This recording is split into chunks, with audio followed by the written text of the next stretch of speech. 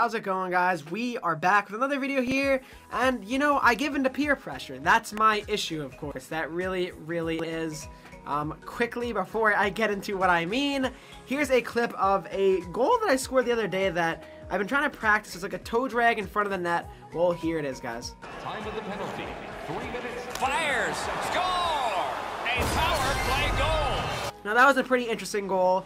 Um, it's it's kind of cheese. It doesn't go on every time, but I've I've been working on trying to score that. Uh, it's it's really not the easiest one to pull off though. So uh, yeah, so here we go, guys. The content for Monday. It's a lot of flashback cards.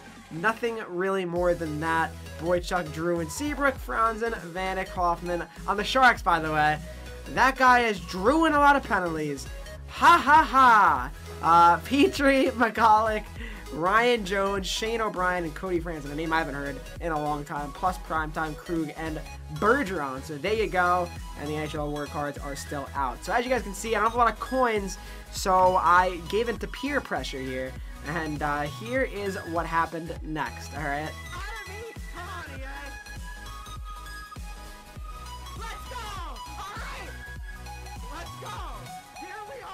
Alright guys, thank you watch thank you guys for watching the video. I appreciate every single one of you so much. It was a lit stream as always, and see you guys in the next video. Hey guys, hopefully you enjoyed that video.